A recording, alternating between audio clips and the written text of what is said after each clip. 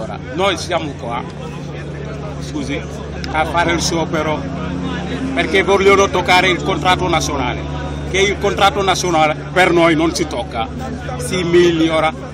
No, vogliono tornare indietro, dare alle cooperative il, il potere che hanno già il potere, però si sfruttano di più. Abbiamo scioperato alla DICHEB, sciopero nazionale, per difendere i nostri diritti, perché abbiamo lì gli autisti che prendono 40-50 euro, lavorano sotto il caporale. Io non ho capito qua se lavoriamo in Italia o siamo alla Repubblica delle Banane. Non possiamo andare avanti, hanno rotto i coglioni perché dobbiamo andare avanti, perché non puoi vivere con 40-50 euro al giorno, come fai a vivere 14 euro? Io ho vita, noi abbiamo applicato il contratto collettivo nazionale, facciamo come Francia, come Svizzera, lavoro 37 ore e mezzo a settimana e vengo pagato 40 ore, non, do, non, do, non 12 ore. Stamattina eravamo in DHL per far applicare il contratto nazionale che lì non esiste, che sono addirittura ai tempi dei faraoni.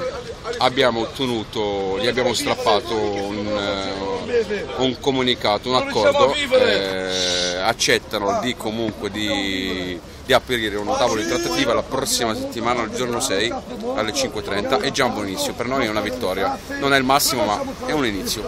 Qui invece in TNT la situazione è diversa, ci riconoscono ma non ci rispettano. A volte fanno così, cosa fanno? Cambiano l'appaltatore, subentra un altro nuovo, non ti pagano il TFR, i tuoi diritti, o se no quando c'è un collega che comunque che non so, non gli va giù, usano questa tattica, cambia appalto, così loro hanno diritto di marciarti a casa. Cosa che è successo anche a me un anno e mezzo fa.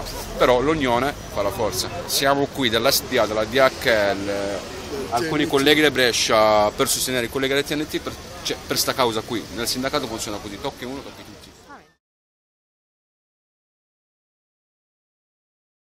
Oggi, in questa giornata che noi abbiamo proclamato di sciopero, eh, siamo qui a portare anche come cementerie la solidarietà ai nostri colleghi della sede, anche perché il problema degli esuberi che riguarda 700-800 persone non è solo un problema della sede ma un problema un po' in generale di tutte le cementerie.